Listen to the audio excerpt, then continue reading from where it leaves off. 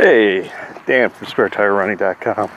Today is technically my rest day, um, so I'm just out here walking. Um, yesterday I didn't do exactly what I wanted to do for my the day, and we talked about that, about distractions and all that. Um, today's rest day. Going to walk. Tomorrow's going to be some fartleks. Uh, probably I'll do that just over by my house. Um, run uh, block, walk a block, run a block, walk a block. Uh, I'm gonna get around this bend and I'll talk to you guys in a second. All right, sorry about that. There was a truck backing up, starting and stuff. I didn't want all that noise. Um, it was pretty loud. Yesterday we talked about distractions, and this isn't really a distraction, but time. And that's what I want to talk about today. Uh,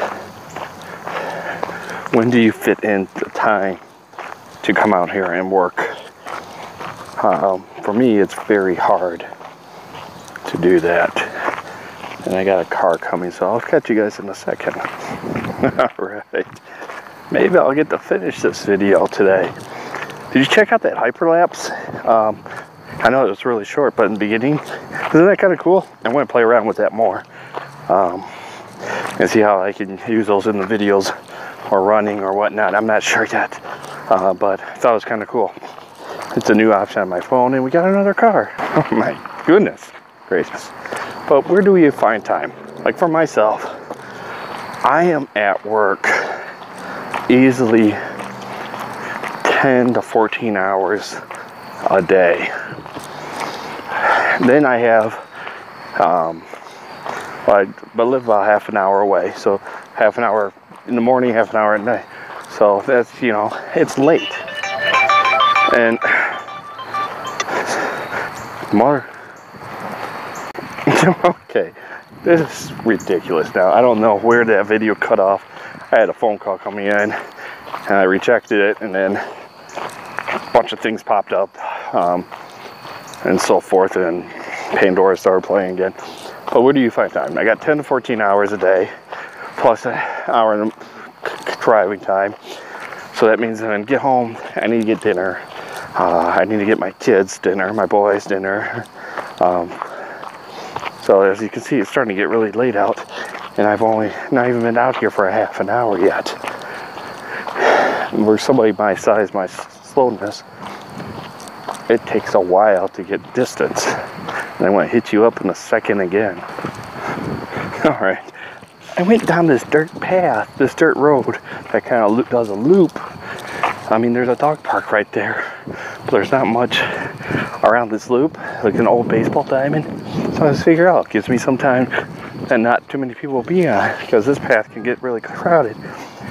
I couldn't believe how many times I had to stop this video. But where do I find the time? So, working, coming here out late. Big guys, it takes time. I want to do the miles. I can do the miles. I just don't have time. I can't move fast enough to get the 10 to 20 miles uh, in the evening or even five miles is going to be tough. I mean, if I'm walking, yeah, okay, yeah, you should be running. Even if I'm running, and I'm running 11 minute miles. Yeah, I know that's slow. Okay, let's do a 10 minute miles. Make it easy.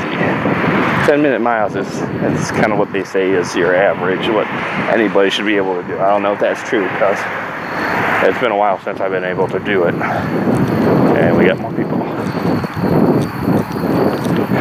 Okay. Hi. So, 10 minute miles. Okay, so three miles, 30 minutes. Six miles, 60 minutes.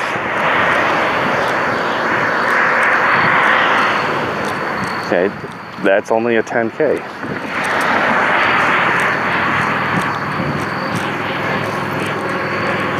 I mean, 10, mi- 10 miles, even at that pace, if you can keep it up,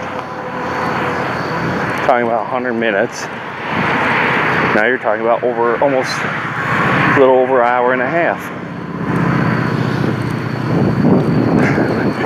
I don't have an hour and a half. I can't go that pace right now. So I want to finish this because guys, I'm a little bum. It's getting nighttime and people keep interrupting me as they're walking by or riding by and stuff. So every step counts.